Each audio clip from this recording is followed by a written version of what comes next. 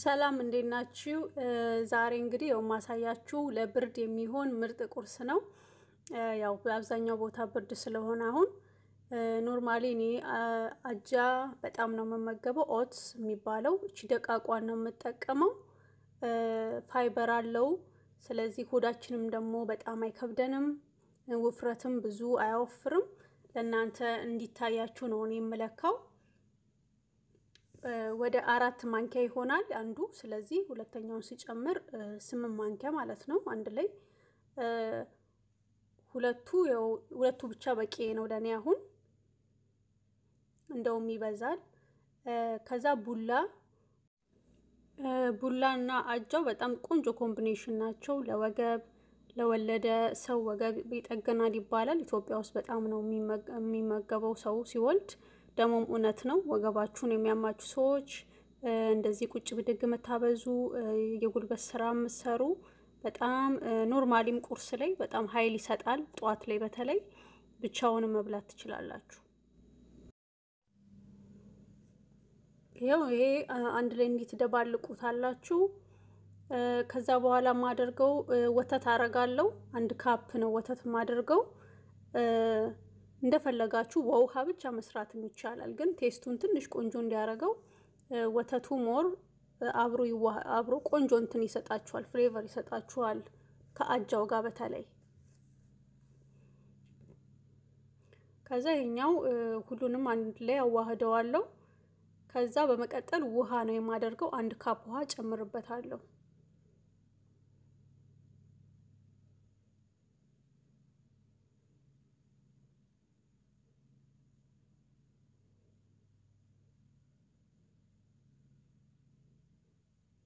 አንድ ላይ ሁለት ካፕ የሚሆን ውሃ ነው ያደረኩበት ማለት ነው።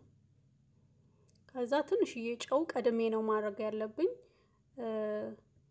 በጣምም ጨው መብዛት የለበትም። አጃውን ብቻውንም መስራት ትችላላችሁ። ያለ ቡላ የማታገኙ ሰዎች አጃው ትንንሿ አጃ መሆን አለባት። ወፋፍራም ትልልቅ አጃ አለ። እሱ ቶሎ ለገንፎ አፋችሁ ላይ ስለሚሻክር፣ ደቃቋ ግን ቶሎ ይሟሟላችኋል። ይህንን ይመስላል። የያዘ ሲመጣ ያው ማመሳላችሁን አታቋርጡ። ስታዩት ትንሽ ትመስላለች። ውሃ ግን እያደረጋችሁ ስታሹ እየወፈረ እየበዛ እየበዛ ይሄዳል። ይሄ በጣም እጅ የሚፈትን ነው። ትንሽዬ ቂቤ አረግበታለሁ ድስቱም እንዳይዝ ለቀቅ እንዲል ለማሸትም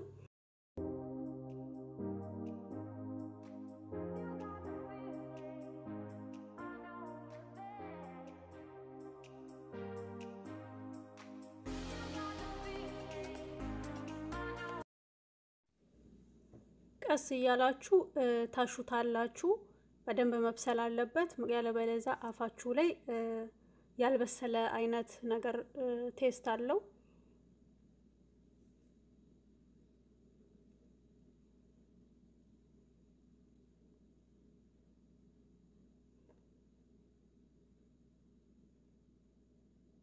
ይኸው እንደምታዩ ድስቱ ከታች ቂቤ ማድረጌ እንዳይዝ እየለቀቀ እንዲመጣልኝ ያደርገዋል።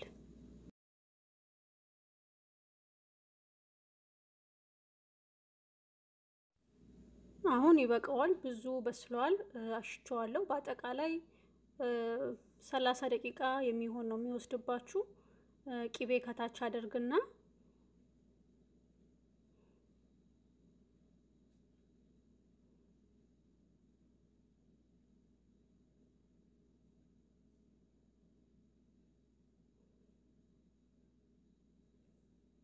እንደምታዩት አጃ እንኳን ይሄ ጥሬው ሻካራው አጃ የገባበት አይመስልም። ስትበሉት ደግሞ በቃ ሙምት ብሎ ነው አፋችሁ ላይ የሚለሰልሰው።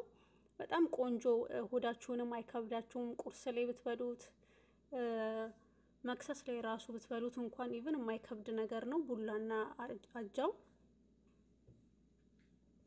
በርበሬ ብዙ አልወድም እኔ በጣም ሲያቃጥል ገንፎ ብዙም አይመቸኝም።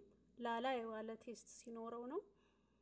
በእርጎ መብላት ትችላላችሁ። በእርጎ በጣም ነው የሚጣፍጠው። ሞክራችሁ ማታውቁ ሰዎች ሞክሩትና ከወደዳችሁት ንገሩኝ።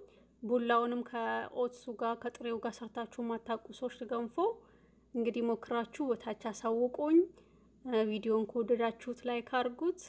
በሌላ ቪዲዮ እስክንገናኝ ቻው።